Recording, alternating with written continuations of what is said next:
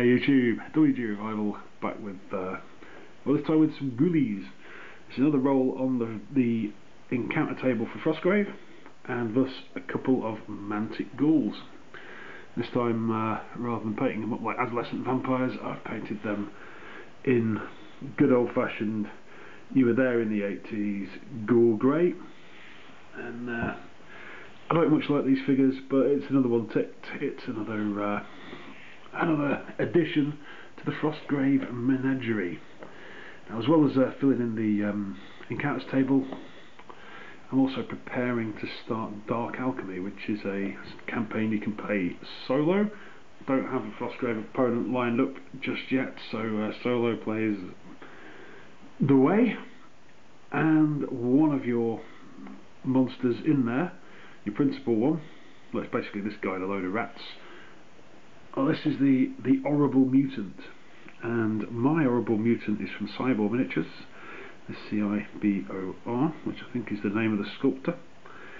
And yeah, he's minging really.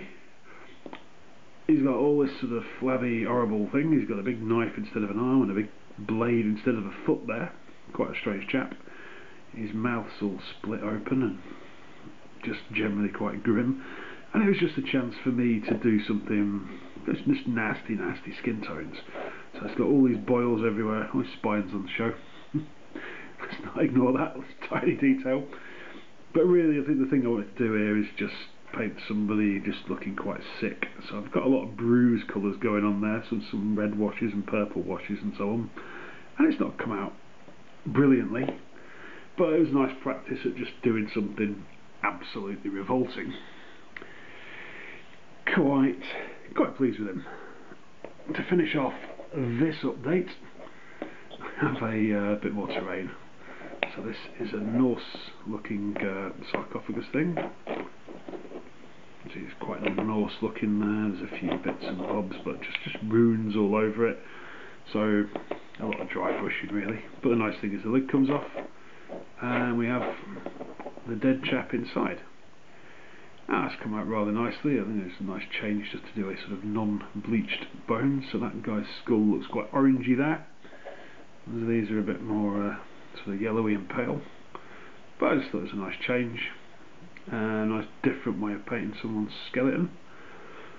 I probably won't stick to that when I actually do paint skeletons for Frostgrave, but uh, just thought it was a nice change and uh, yeah, quite enjoy painting that.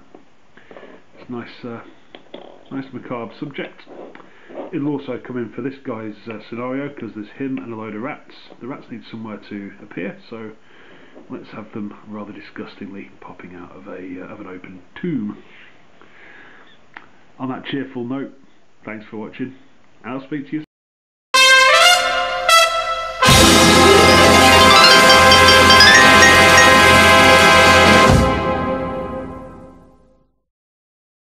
ha!